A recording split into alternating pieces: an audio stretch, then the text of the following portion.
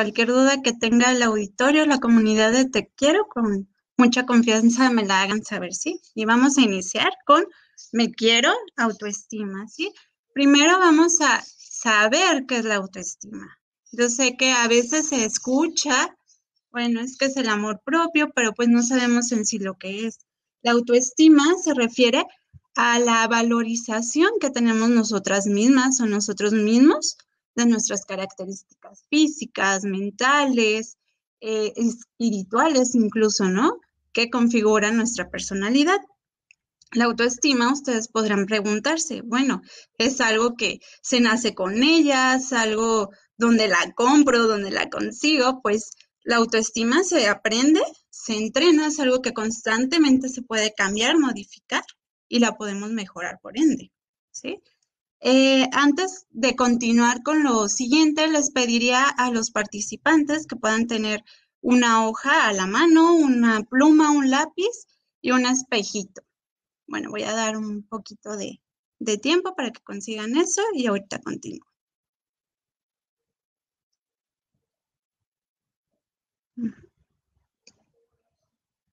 Bueno, esperemos que ya lo tengan a la mano. Vamos a continuar. La autoestima no es un tema ligero, no es un tema sencillo, sino que se compone de distintos escalones. Imaginemos que la autoestima tiene seis escalones y que es una escalera, ¿sí? Imaginemos también que hay enfrente de nosotras, de nosotros, una enorme escalera, ¿sí? Y que uno de esos escalones que queremos subir está incompleto, roto, dañado y nosotros queremos subir esa escalera hasta llegar a la cima. Pero entonces, ¿cómo nos ponemos de pie sobre un escalón roto? ¿Qué es lo que ocurre ahí? Pues nuestra pierna se va a caer y nos podemos lastimar. Así que trabajaremos juntas para que cada uno de estos escalones estén en perfecto estado para que ustedes lleguen a la cima. Al tener una autoestima sana, eh, fortalecida, ustedes van a poder lograr lo que quieran, lo que se propongan, incluso como menciona Tatiana, incursionar en el mundo tech.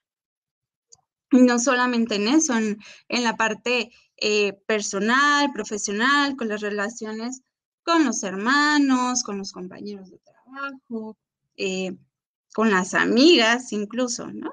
Bueno, vamos a revisar en qué se eh, basa esta parte de la escalera de la autoestima, ¿sí? El primer escalón es el autoconocimiento. ¿Te conoces? El autoconcepto.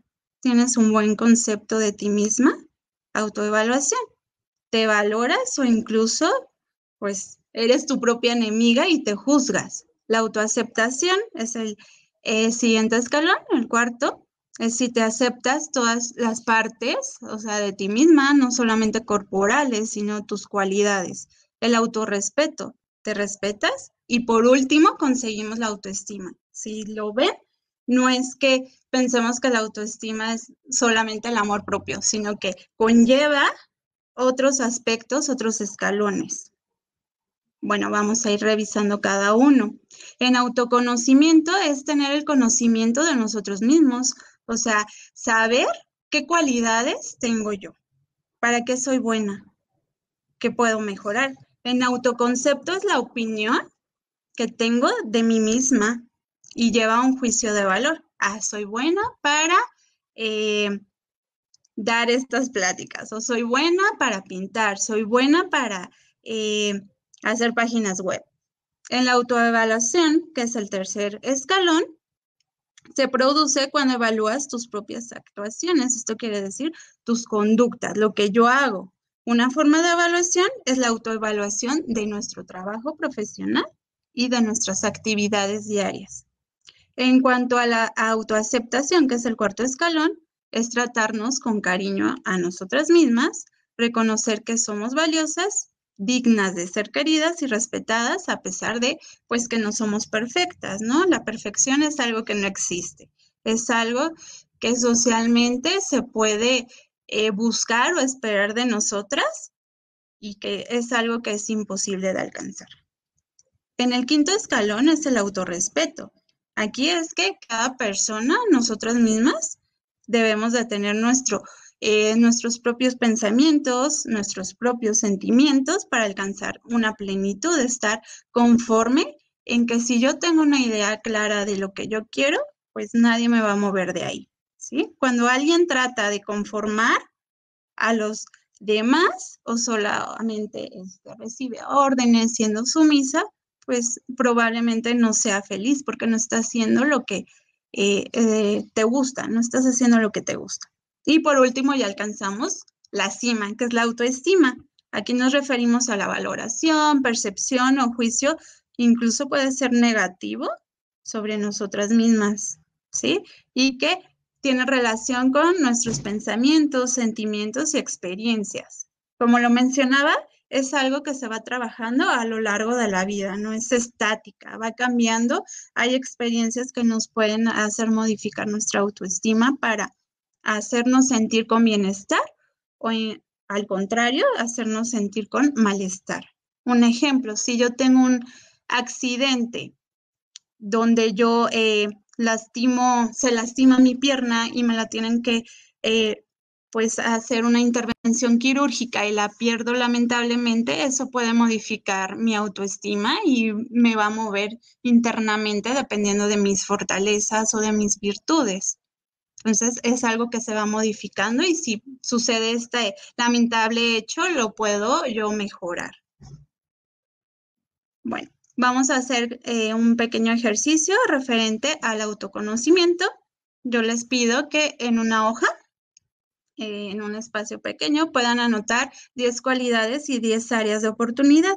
Las cualidades son las virtudes, fortalezas, es decir, yo soy eh, valiente porque me he enfrentado a cosas inimaginables, ¿no? Creo que todos ahorita con la pandemia somos valientes al enfrentarnos en una situación que nos genera incertidumbre, que nos genera malestar emocional, físico, económico. Y en las áreas de oportunidad, ¿qué es lo que yo puedo cambiar? Que puedo mejorar. Voy a dar un poquito de tiempo para que lo puedan hacer en sus casas.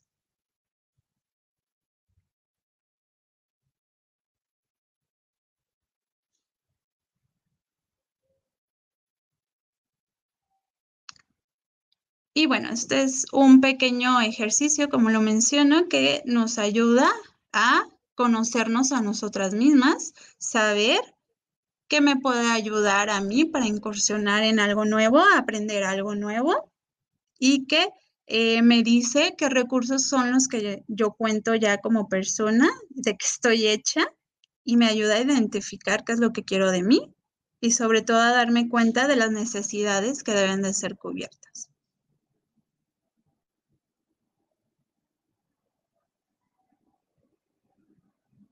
Voy a avanzar.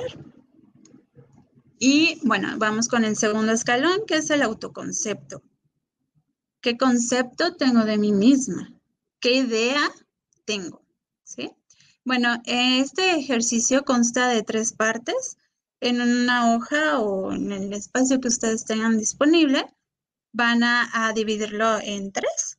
La primera es reconocer los puntos buenos, o sea, lo que más me gusta de mí, lo que más te gusta de ti. Vas a escribir todo en términos positivos, eh, de compasión hacia ti, o sea, que sean amables contigo y vas a iniciar cada atributo con la palabra yo. Yo soy, yo tengo, yo he logrado, yo soy maravillosa. Y una vez hecho esto, pues la segunda parte es observar cómo te agredes, o sea, de qué manera te autocriticas.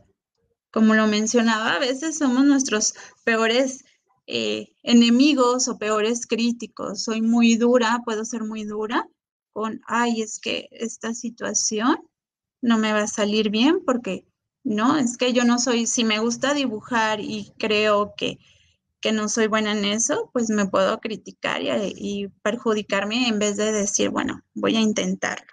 Entonces, ¿qué autocríticas te haces a ti misma? Quizás esta lista se te pueda hacer mucho más fácil que la lista anterior de tus virtudes. ¿Sí? Tómate un tiempo y hazlo eh, lo más completamente posible que puedas. ¿Qué críticas te haces a ti misma. O incluso también aplica qué te han dicho los demás que eres. En forma negativa, eres enojona, eh, no sabes dibujar, no entiendes matemáticas. ¿Qué te han dicho? ¿Qué te has dicho a ti mismo? Y por último, la tercera parte es, bueno, convertir estas piedras en oro, ¿sí? Para comenzar, vas a reconsiderar cada una de las críticas que colocaste y vas a asegurar que son verdaderas. ¿Realmente es así? Si alguna de estas no estás el 100% segura de que sea cierta, le vas a colocar a un lado una F de falso. Y en contrario, se afirma la verdad a un lado entre paréntesis o como tú quieras colocarlo, le vas a poner una B de verdadero. ¿Sí? Luego lo vas a volver a revisar y te lo vas a replantear de una manera afectuosa, no agresiva, como una área de oportunidad. ¿Sí? Si me han dicho que soy enojona, pues puedo replanteármelo. A veces me enojo o me enojo por esta situación porque alguien me habla mal, porque me hacen mala cara, ¿sí? Pero soy amable conmigo misma. Vamos avanzando, vamos por el tercer escalón. Aquí, eh, bueno, es un ejercicio de autoevaluación y tiene objetivo de que tomes conciencia sobre la relación entre tu trabajo, el valor que tú eh, le agregas a esta actividad que tú realizas y tu autoestima.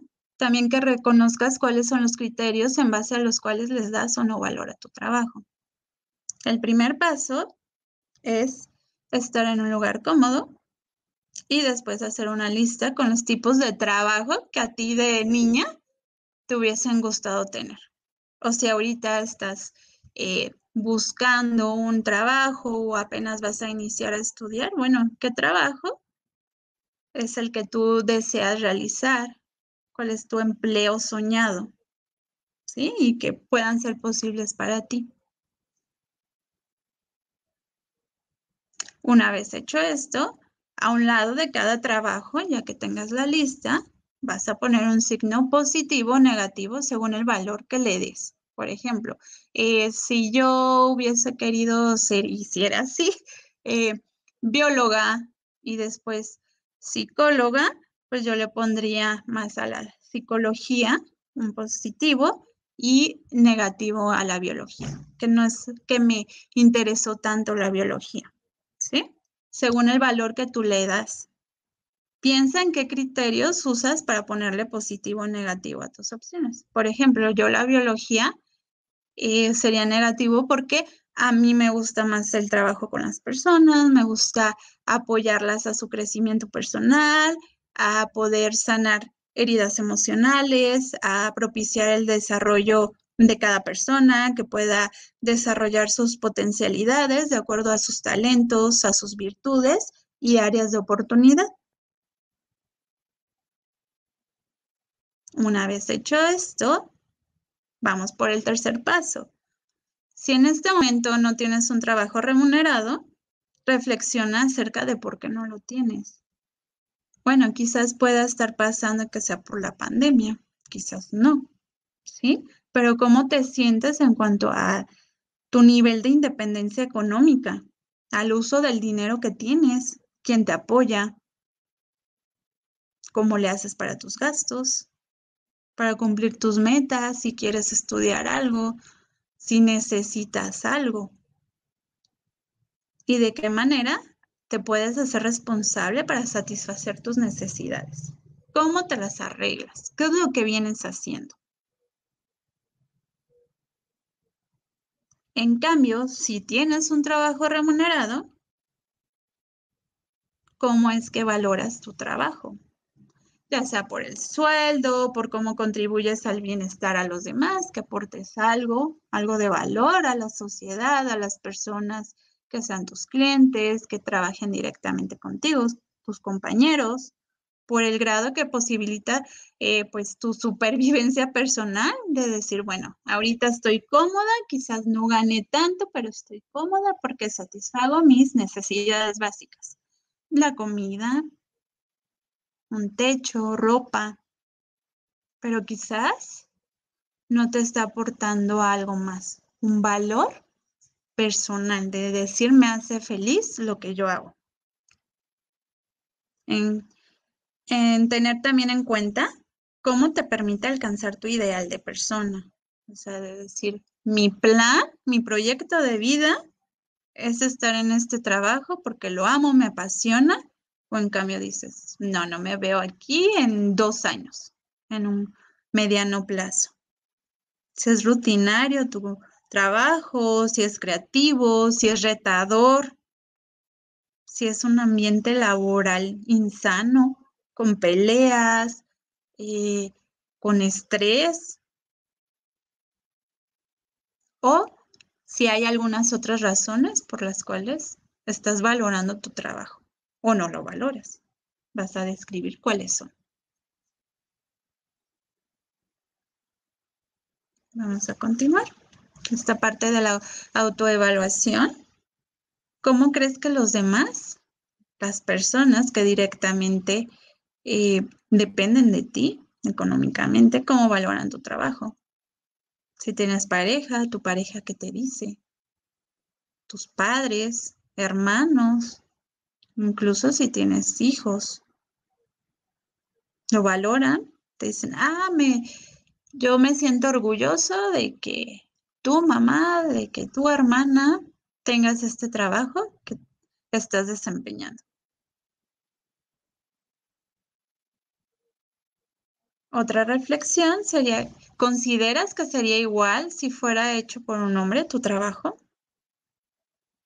¿O en cambio notas algún estereotipo, alguna barrera? Barrera en cuestión del género. ¿Qué identificas? ¿Cuáles son? Una vez teniendo esto, pues vamos avanzando. ¿Notas alguna relación entre el valor que le das a tu trabajo y el que le te das a ti misma como persona? ¿Crees que tu trabajo hecho o lo que tú haces te da un valor como persona? ¿O es lo que tú haces? ¿O crees que es lo que te define? ¿Sí? ¿Cómo mides el éxito en tu trabajo? ¿Cómo puedes saber que tienes éxito en él? ¿Sí? ¿De qué te puedes dar cuenta? ¿Ha cambiado en algo tu valoración en cuanto a tu trabajo y hacia ti misma? Quizás iniciaste en ese empleo por alguna idea, por alguna expectativa, por querer conseguir algo, por querer crecer en la empresa. Y quizás te das cuenta que no está haciendo lo tuyo.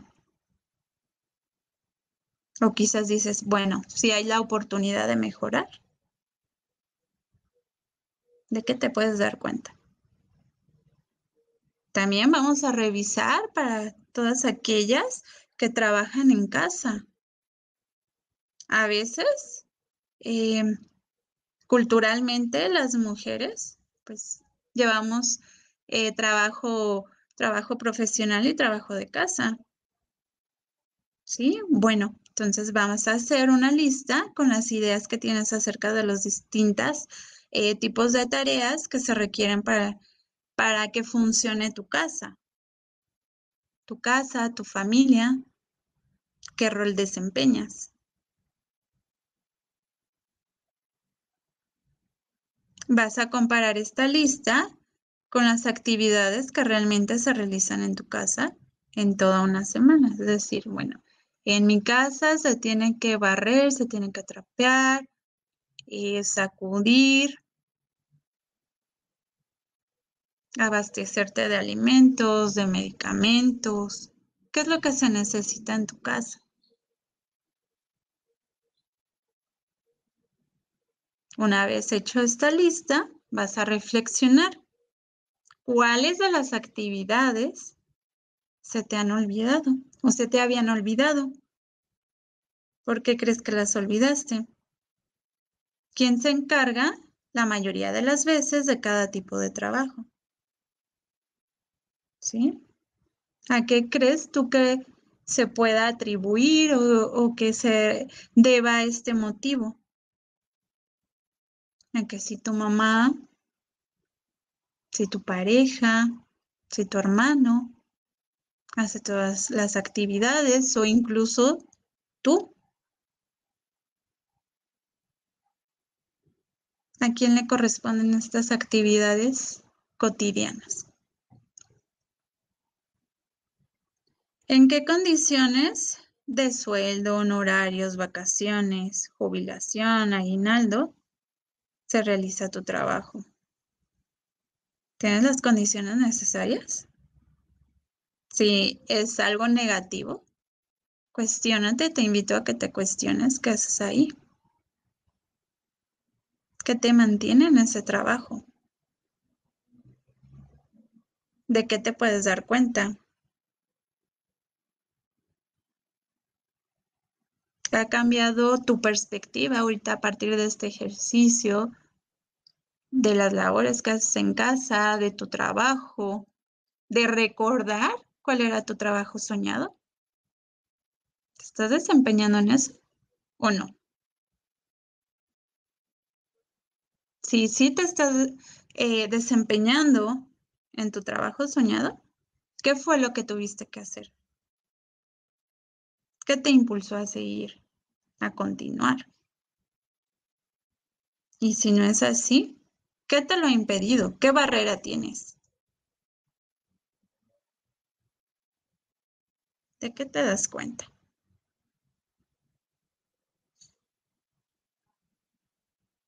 Bueno, vamos a pasar al siguiente escalón, que es un ejercicio de autoaceptación.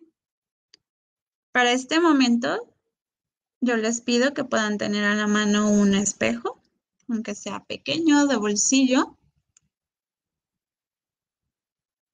y se puedan parar enfrente de él. Párate enfrente de él.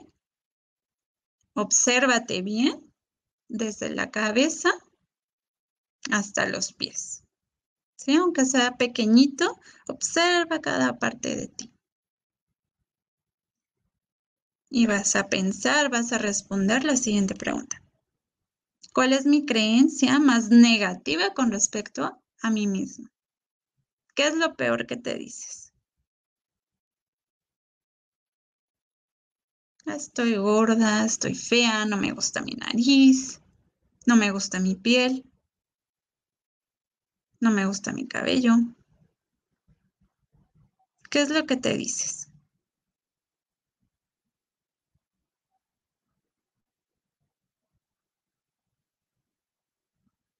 Piénsalo, tenlo en mente, obsérvate bien, perfectamente bien.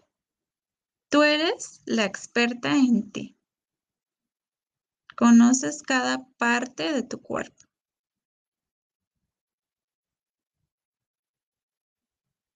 Por consiguiente, en voz alta vas a mencionar la siguiente frase. Deseo liberarme de la resistencia que me impide y vas a notar qué emociones tienes respecto a ti misma, tus sensaciones y tus pensamientos. ¿sí? Si yo pienso que estoy gorda, que estoy fea, que no me gusta algo de mí, voy a decir que me libero de la resistencia que me impide sentirme bonita, que me impide sentirme capaz, que me impide aceptar lo que tengo, aceptar lo que soy. Hay cosas, características que si bien no nos pueden gustar, ¿qué es lo que podemos hacer para sentirnos mejor?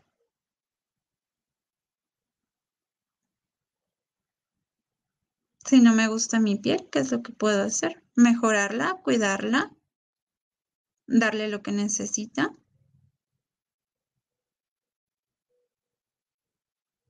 Si tengo sobrepeso y me está ocasionando un malestar físico, enfermedades, ¿qué es lo que yo puedo hacer para estar mejor? Ir al doctor, ir a la nutrióloga, cuidar mi cuerpo, mi alimentación, llevar una vida saludable, hacer ejercicio, dormir.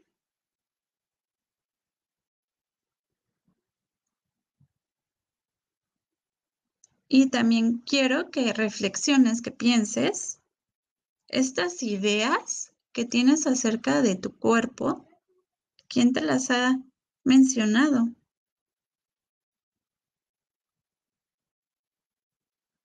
¿Fuiste tú sola? ¿Alguien te las dijo? ¿Lo aprendiste?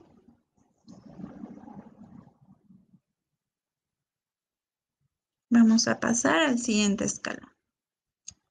Vamos por el autorrespeto.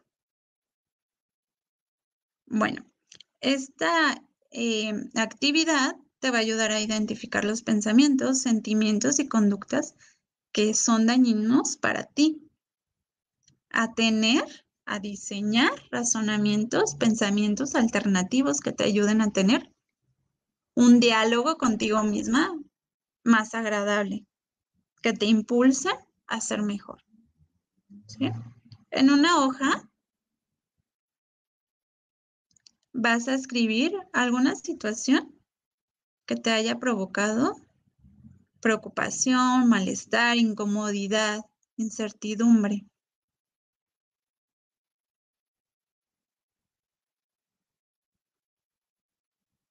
Después, incluso a la vuelta, Puedes describir el pensamiento negativo que se ha derivado de esa situación.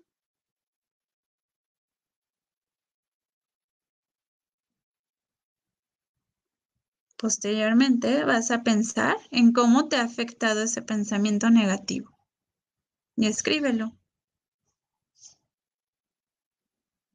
Ha impactado en tus relaciones personales, en tu escuela, en no animarte a hacer las cosas? ¿Qué es lo que te ha venido robando este pensamiento negativo? ¿Qué no te deja hacer?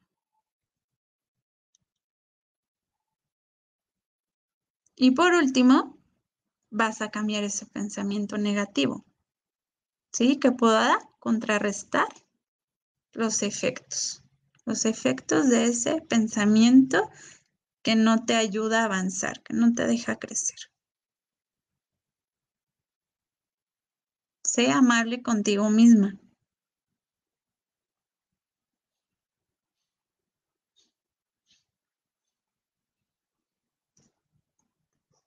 Y ya por último, vamos con un ejercicio de autoestima.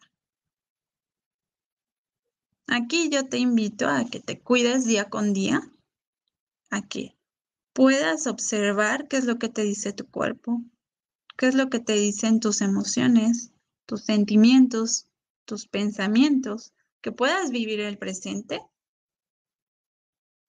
porque el presente te ayuda a vivir una vida plena, plena y satisfactoria.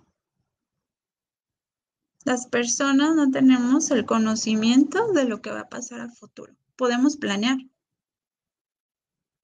y esa planeación no tenemos el pleno control de que vaya a suceder así. Por lo tanto, yo te invito a que vivas en el presente, que te puedas enfocar en lo que tienes para construirte, para construir tu futuro. ¿Qué es lo que quieres lograr? ¿Cómo lo vas a lograr? Por lo tanto, no dejes la felicidad para mañana. Disfruta desde hoy. Disfruta tener todas las emociones, enojo, miedo, tristeza, que son parte de la vida. ¿Sí? Aquí en el ejercicio último de la autoestima, es que cada día te dediques mínimo cinco minutos. Cinco minutos para ti, para relajarte, para cuidarte a ti misma. Tú puedes elegir cualquier actividad que te guste. No tiene que ser algo exagerado como ir al spa, como ir al gimnasio o, o gastar. Es algo que tú, tú decides qué es lo que quieres hacer. ¿Qué es lo que puedes hacer? Que te des un regalo para cuidar de ti, para quererte, apapacharte. Puede ser un chocolate, un baño relajante, un paseo en bicicleta, escuchar música de ese grupo que te gusta mucho, ver alguna película en Netflix o serie. estar en la comunidad de Te Quiero, encontrar personas que puedan tener tu misma dirección.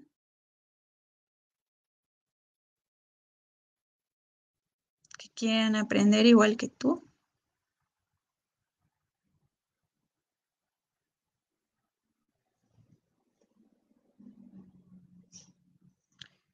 Y pues eso sería todo de mi parte. Muchas gracias. Igual para la comunidad de Te Quiero. Si alguien necesita apoyo extra, pues pueden seguirme en mis redes sociales que están aquí, las pueden visualizar. Igual si alguien necesita acompañamiento psicológico, con mucho gusto se pueden acercar conmigo y cualquier duda, comentario que tengan, acérquense, no están solas y podemos caminar juntas para que tengan un bienestar emocional, una sana autoestima y que puedan lograr lo que ustedes se propongan. Hola, gracias por quedarte hasta el final del video. Recuerda que puedes ver más contenido como este en nuestro canal de todos los eventos a los que asistimos porque we love devs. Y acuérdate de darle like, compartir, suscribirte y darle a la campanita para que estés al pendiente de todo nuestro nuevo contenido. Además, seguirnos en todas nuestras redes sociales para que siempre estés al día sobre todo lo que subimos. Además, aquí te dejamos otros videos para que los puedas ver. Exacto. Gracias.